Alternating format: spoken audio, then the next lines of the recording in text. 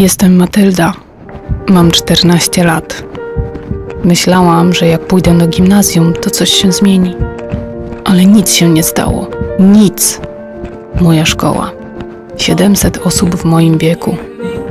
Na przerwach tworzą się grupki. A ja stoję zawsze pod ścianą. Mam wrażenie, że ludzie naśmiewają się ze mnie. Nikogo w szkole to nie rusza. W domu też nie. Rodzice ze mną nie rozmawiają. Kiedy siedzę przy biurku, a mama wraca z pracy, pyta tylko co w szkole i to wszystko. Na lekcjach siedzę sama. Jestem nudna, nic mi się nie chce. Siedząc w domu, rozmyślam nad sobą, zamiast zmotywować się do czegoś. Nieraz mam przebłyski, że będzie dobrze, ale za chwilę znowu wszystko mnie przygnębia. Nie chcę być taka beznadziejna. Czuję się samotna, bez zajęcia, z narastającą stertą problemów. Help, I have done it again.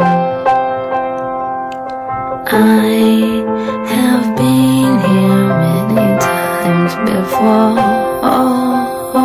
Hurt myself again today. Dlaczego dorośli mówią, że młodzież nie ma problemów i ważnych decyzji do podjęcia? Przecież to właśnie wtedy wszystko w nas się kształtuje. Wybieramy, kim tak naprawdę chcemy być. Wypisz na kartce, co chciałabyś w sobie zmienić. Twierdzisz, że jesteś nudna? Znajdź swoją pasję. Znajdź sport, który najbardziej Ci odpowiada. Życie bez ruchu jest ubogie. Od kiedy zaczęłam regularnie tańczyć, moje życie jest przyjemniejsze. Nie tylko mężczyźni po czterdziestce muszą się martwić o swój styl życia. Otwórz się na sygnały, jakie daje Ci Twoje ciało. Zdrowie i sprawność fizyczna są ważne dla każdego, bez względu na wiek. Mi taniec pomaga zwiększyć efektywność i koncentrację. Powinnaś zdecydowanie mniej siedzieć i spędzać więcej czasu na świeżym powietrzu, ruszając się. Sport to kondycja fizyczna. Wydzielają się endorfiny i pojawia się zadowolenie z życia.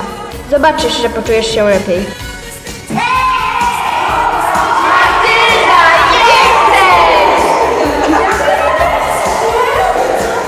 Każdy marzenie. Tyle jesteś warta, ile sobie wywalczysz. Chyba pierwszy raz w życiu zdobywam jakieś pozytywne komentarze dotyczące mojej osoby. Gangnam Style. Gangnam Style.